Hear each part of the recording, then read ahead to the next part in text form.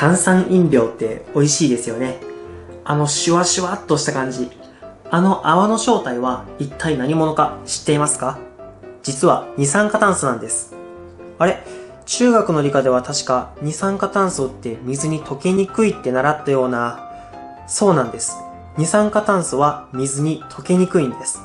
ですが、締められた中で上から強烈な力で押すと二酸化炭素はある程度水に溶けるようになるんですね。それでシュワシュワ言ってるんです。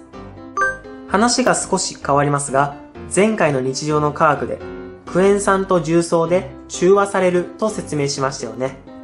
あの反応で二酸化炭素もできるんです。ということは、この反応を水の中でやれば炭酸水ができるんじゃないか。できるかどうかは論より証拠。実際にやってみよう。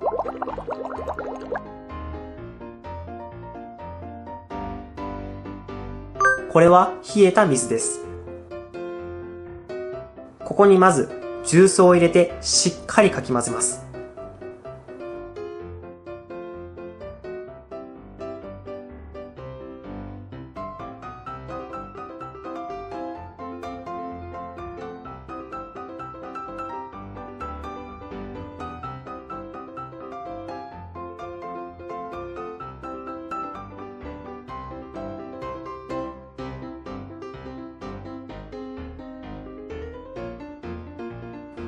それではクエン酸を入れてみましょ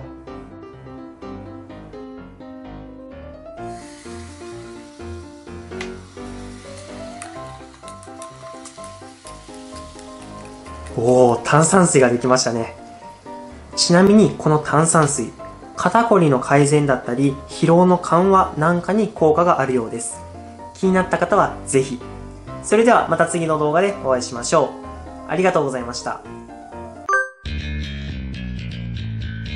験で作った炭酸水はナトリウムが入っているので少ししょっぱく感じるかもしれません。そんな時は砂糖を少し入れて自分好みの味に変えてみるのも一つ楽しいかもしれませんね。